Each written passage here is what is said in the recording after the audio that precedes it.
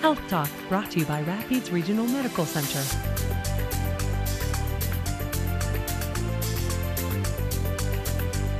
Just about everyone is impacted by cancer. It may be you, or a loved one, or a friend. That's why Rapides Cancer Center is holding its first Colors of Courage 5K run to raise money for the American Cancer Society.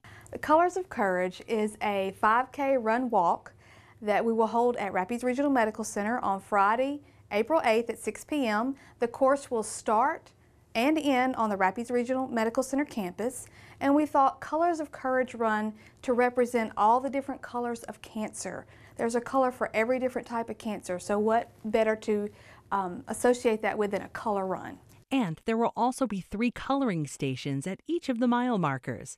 There, volunteers will shower willing participants with a colored powder made of food grade cornstarch. It's a um, fun run that you can do with your family, your friends, your coworkers. It's a high energy run. You can get really, really messy if you want to. You can avoid the color stations if you want.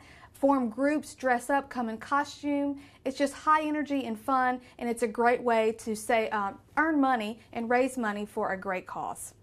Registration is currently underway online at www.imathlete.com and search for Colors of Courage.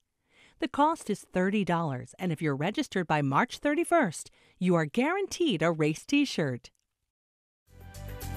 For more information or to download a registration form, visit www.rapidesregional.com.